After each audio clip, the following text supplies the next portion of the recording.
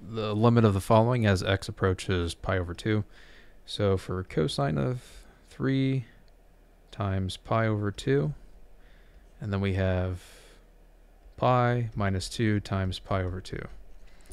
So 3 pi over 2 on a unit circle is down here. The cosine of that is 0. And then pi minus, so these cancel out. So this is pi minus pi, so it's 0.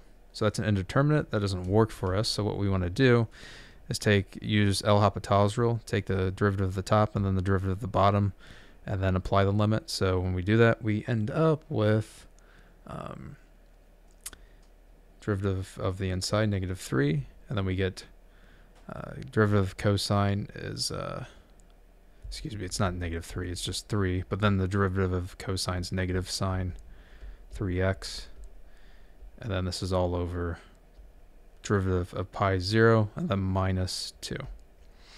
Okay, so this is the limit as x approaches pi over 2 for negative 3 sine of 3x over negative 2. So these negatives cancel out. All right, so we plug in pi over 2 on the unit circle. Um, oh, excuse me, pi over 2 is up here. I don't know why I thought 3 pi over 2, but it's still 0.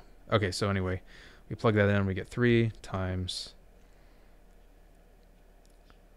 sine of, oh, it is 3 pi over 2. What am I talking about? It's down here. Okay, so uh, 3 pi over 2.